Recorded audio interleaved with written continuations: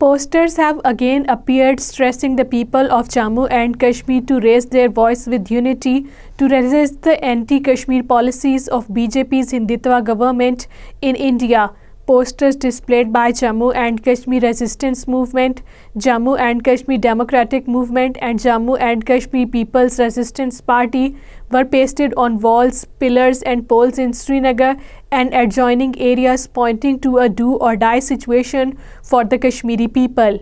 People's Democratic Party President Mehbooba Mufti launching a fierce attack on the Modi-led Indian regime over the recent killings, including that of a Kashmiri Pandit in Pulwama, has asked the Indian government if the militancy is eroded from the valley, then why New Delhi is putting thousands of Kashmiri people in jails in the name of militancy.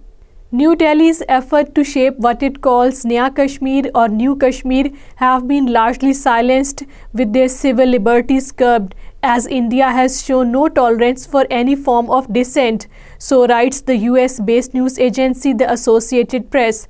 AP writes Indian authorities revived a government-sponsored militia and began rearming and training thousands of villagers, including some teenagers. India is working on a sinister plan to collect computerized data of all Kashmiri youth and their properties to take away their life and land after branding them as terrorists. In this regard, the Director General of Police Dilbag Singh has issued directives for timely digitalization of all records of what he said all militants, overground workers, anti-national elements, their friends and properties across the occupied territory. An Indian paramilitary Central Reserve Police Force man committed suicide in Rajouri district.